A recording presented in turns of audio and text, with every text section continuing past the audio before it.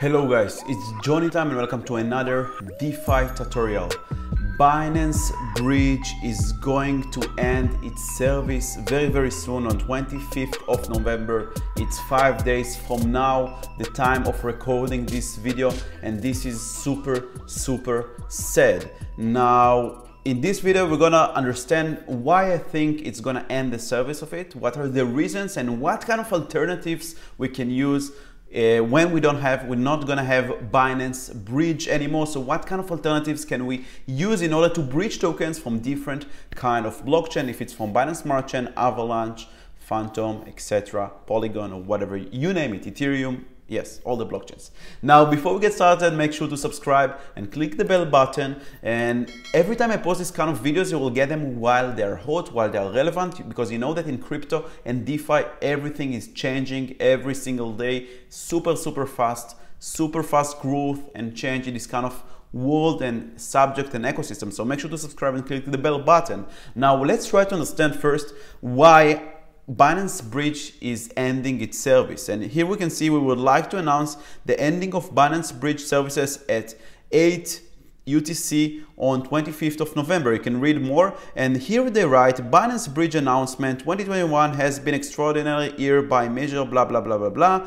As the ecosystem grows, there are new decentralized products introduced which already attracted more users. So basically their excuse of closing the bridge is that there are other solutions that attract more users than Binance Bridge. I think, excuse me, that this is bullshit, right? Because what? So what? There are other services that are doing the same thing. It doesn't matter that competition and other services are not welcome. This, this is not reason to close a product. And I think that the main reason is actually because of the KYC restrictions that they have. Because if you are following my videos, you know that recently Binance tighten up their KYC restrictions because uh, the governments are, are trying to regulate them more and more. And basically they hired a new KYC director. They they becoming more strict. You cannot use Binance in Singapore etc etc you need to do KYC verification. If you want to use trading or withdrawing or depositing for everything you need to do KYC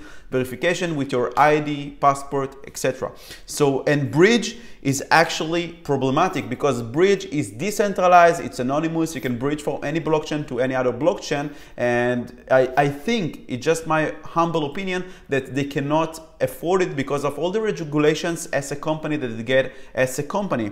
And that and what they basically offering here a different solution and they're saying here are some alternatives if you need to move assets via cross-chain. So if you want to do cross-chain bridging between one chain to another, these are your options. If you are a registered user, of course, with KYC, definitely, because without KYC, you cannot do anything on Binance. You can convert popular assets between blockchains by deposit tokens to your Binance account, withdraw tokens from your Binance account to any available blockchain. They're basically telling you, guys, we are sorry, we cannot let you bridge tokens in a decentralized and anonymous way anymore. If you want to use our services and bridge tokens and assets from one blockchain to another, you will have to open a Binance account, sign up, make a KYC, and then that's how you, you uh, make the bridge. And this is very sad, but I don't think they have any choice because the regulations that the countries are trying to uh, make.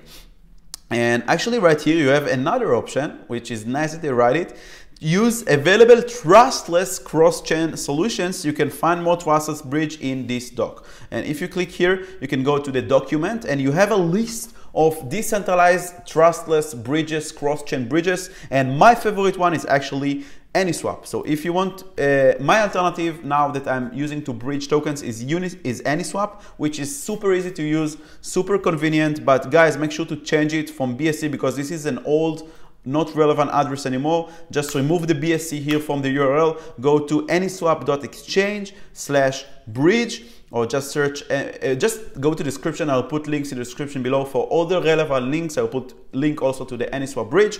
And then you can connect your wallet, which is super easy, super simple. And then you can choose where, which blockchain you want to bridge from. So you have all the popular blockchains. Look how many blockchains from Binance Smart Chain to Fantom, Avax, etc., etc. So let's say you want to bridge from Binance Smart Chain. Um, I will have to unlock my wallet just a moment. So now you have uh, the option to select the network. You can, for example, bridge from Binance Smart Chain to Polygon, Matic, Avax, Ethereum, Fantom, etc., etc. Super easy, even much better than Binance Bridge. So AnySwap is my solution that I'm using right now to bridge assets cross-chain. And this is the solution. This is the story about ending of Binance Bridge.